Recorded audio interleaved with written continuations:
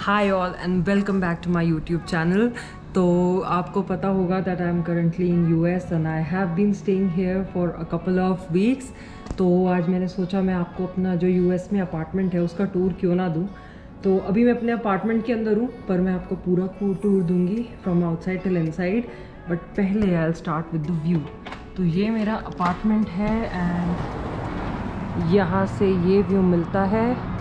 आप देख सकते हो आई थिंक ये सम काइंड ऑफ़ हाईवे है सामने ही और बहुत सुंदर रिवर है सामने it's called the white river by the way अगर आपको नहीं पता तो मैं एक बार फिर बता दूँ, मैं यूएस में हूँ at Indianapolis which is in the state of Indiana तो ये शोर वगैरह बिल्कुल नहीं आता है अंदर, क्योंकि जब विंडो बंद हो जाती है पूरा का पूरा तो कुछ होता नहीं है, बाकी यहाँ पे ट्रेन ट्रैक्स हैं।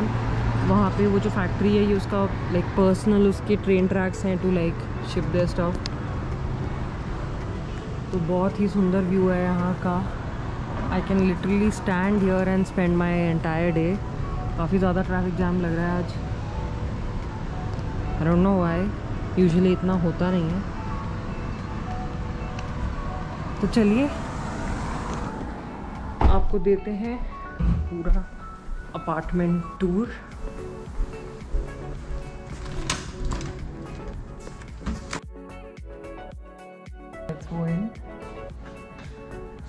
अंदर आते ही ऑन द लाइट और ये यहाँ पे एक कॉमन एरिया है, आप कह सकते हैं। तो इस अपार्टमेंट में चार रूम्स हैं, जहाँ पे चार लोग रहते हैं। मेरा रूम जो है, उधर लास्ट वाला है। तो ये जो है सारा का सारा कॉमन स्पेस है कॉमन एरिया है. Like there is a sofa then you know there is a couch और इसके सामने ही वो पूरी की पूरी विंडो है जहाँ से आप पूरा व्यू देख सकते हो.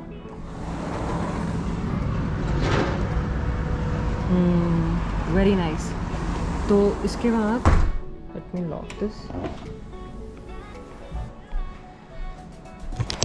ये मेरा सामान नहीं है ये मेरे फ्रेंड्स का सामान है. उसके बाद तो यूएस में यहाँ पे आपको पता होगा कि कपड़े बाहर नहीं सूखते। जैसे इंडिया में होता है तो यहाँ ड्रायर्स और वॉशिंग मशीन का कॉन्सेप्ट होता है।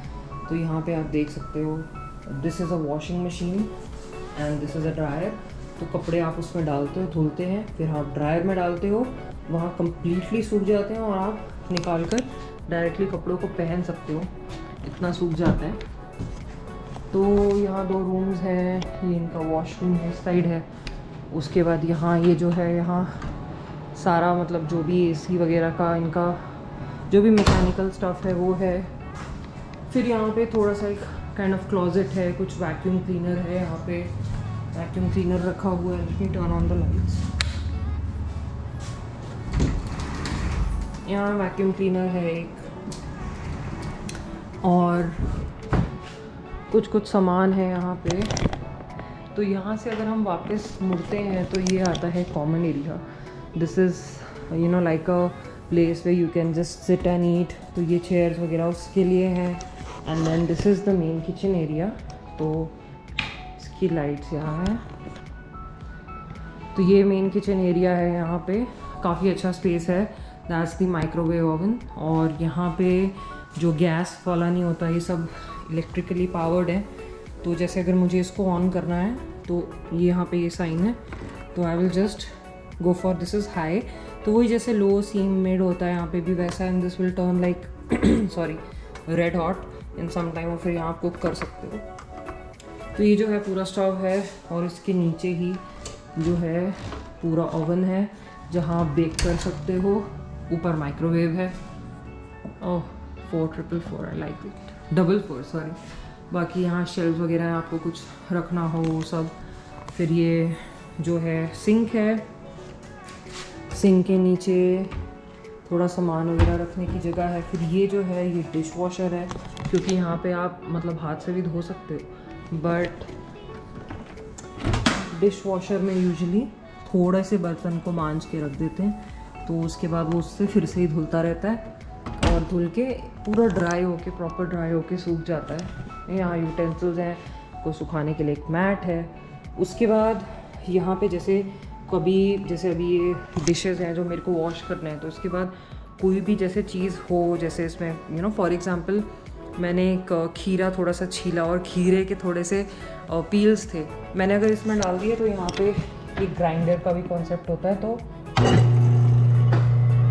तो ये अगर आपको जो आवाज़ आ रही होगी, इसके अंदर प्लेट्स नीचे लगे होते हैं, वो उसको कम्प्लीटली चॉप करके पानी में स्लरी बना के डिज़ोल्व कर देता है।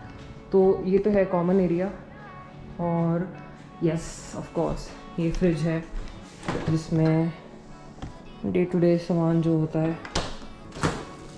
Lot of frozen stuff because US में बहुत फ्रोज़न चलता है और ये है पैंट्री तो यहाँ पे again you know there is a lot of Indian spices और लॉट ऑफ़ इंडियन सामान है यहाँ पे। एक वेइंग मशीन भी है यहाँ। ताकि साथ साथ में जो खा रहे हैं, हम अपना भी वेट चेक करते रहे लोल और ये जो है, ये रूम है and this is the washroom so I'll show you the washroom first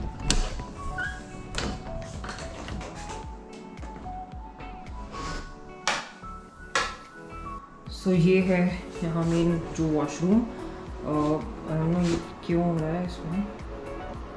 I think वो ग्लेयर पड़ रहा है, इसलिए ब्लैक हो रहा है। तो ये सिंक एरिया है then there is the flush and then there is an entire bath tub shower है। मतलब जैसे this is basically student apartment तो स्टूडेंट्स यहाँ पे रह सकते हैं। फैमिलीज़ भी रह सकते हैं but this is more of a student kind of an area and now we go to our room regulate होता है। जब यहाँ पे अभी स्नो होनी शुरू हो जाएगी तो ये अपार्टमेंट बहुत वार्म रहेगा। सारी जगह अगर आप देखो तो वुडन फ्लोरिंग है कम्प्लीटली क्योंकि जब बर्फ़ पड़ती है तो ये थोड़ा गर्म रहता है। और that's why it's it's very very important बाकी मेरा तो फेवरेट चीज़ अगर पूछो इस अपार्टमेंट के बारे में then it is definitely the view literally ये बादल और ये रिवर और साथ में आती जाती कार्स तो मैं पूरा दिन बैठ के like I can literally stand here entire day नहीं तो यहाँ सोफा पे बैठ के I can literally sit and I can watch this scene this scenery the entire day for me so beautiful so that's it about it I hope you like my blog और please don't forget to like share and subscribe if you have any concern अगर आप कुछ भी जानना चाहते हैं, और भी आपको कोई डाउट्स है please please feel free to ask me in the comments below या अगर आपको ये ब्लॉग कैसा पसंद आया, वो भी प्लीज़ मेरे को इसमें कमेंट्स में बताएँ। एंड प्लीज़ सब्सक्राइब सब्सक्राइब कीजिए बेल आइकन को प्रेस कर दीजिए। Okay and I see you soon. Bye